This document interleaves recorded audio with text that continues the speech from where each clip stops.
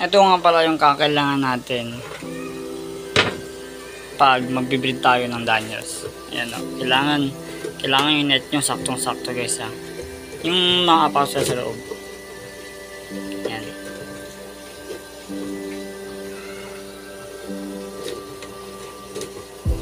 Saka yung hindi sila makakalabas. Para hindi nila makain yung itlog kapag nasa loob na ng ano. Mukhang sobra pa to.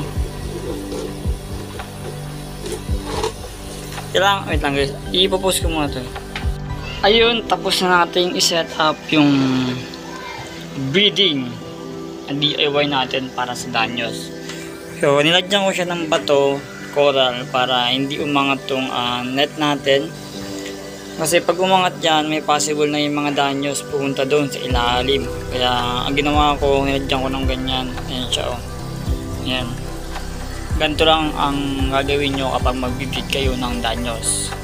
So, syempre, bago natin ah ah, ilipat yung mga danyos natin na to, ito yung danyos, kukuha tayo ng tubig dito, tsaka siguro mga 1 one fourth lang, 1 fourth na tubig nito.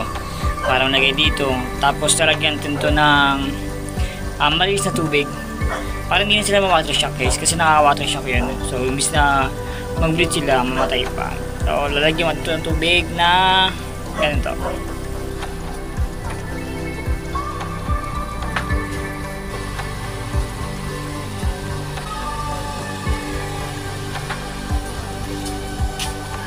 So, ito na siya guys. May, ano tayo, may tubig. May tubig na tayo ng gamit dito.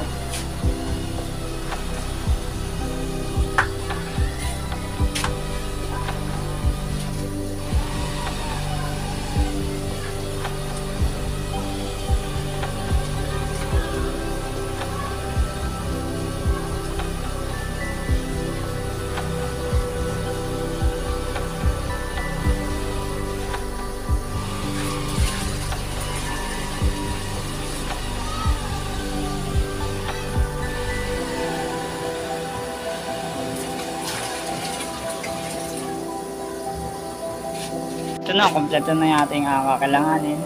So, ang kailangan natin ay net para mahuli yung mga buntis na danyos tsaka yung male na danyos.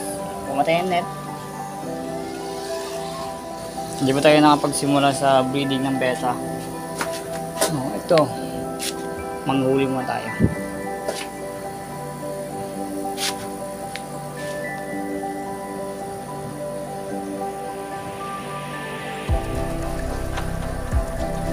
Ang huli nyo lang pala guys dito is yung bunt malaki yung chan.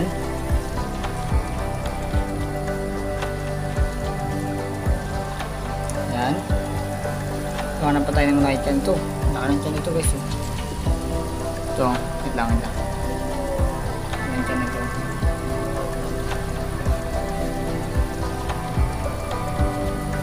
Hirap huliin ng buntis. I-reset ko kasi ito guys lahat. Nalilinisan ko, tatanggalin ko ng sand. Lang guys ha. Ayan o, mga ganyan mga buntis o. Nakita nyo. Laki ng tiyan.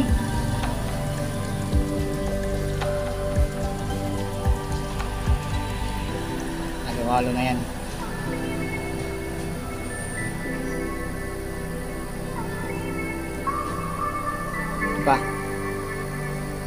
Para ang bala ko lang, ilagay ko lang lahat yung darts dito. Para isang grid na lang no guys na. Nasa tingin nyo.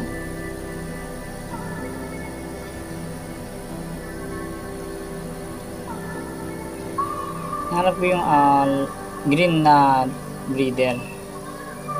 Pero inuuna ko kasi yung mga buntis para mamaya made na lang yung huliin ko.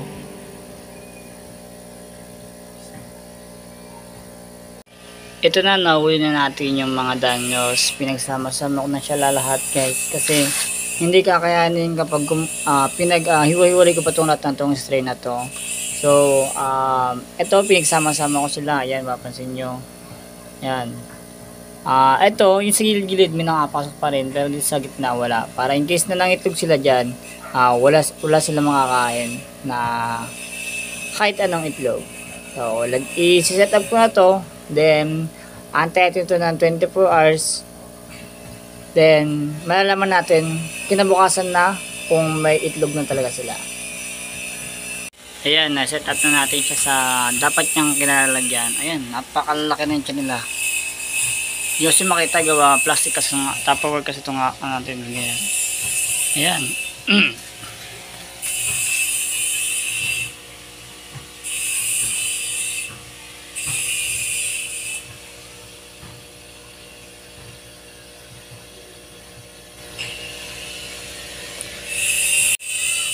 So hanggang dito na naman tayo guys. And sana itong idea ko ng pagbe-breed is may matutunan din kayo. Alam ko madaming YouTuber na na ah, gumawa ng breeding nila sa sarili pero akin ito kasi ah, pinaka mismong setup ko ng ah, breeding ko. And plastic nilagay ko. Kapag ah, ako rin kasi yung pinag-breedan ko guys is mab- mabilis pasukan ng lamig. Kaya ang sa akin plastic tong tupperware para hindi siya ganong pasukan ng lamig.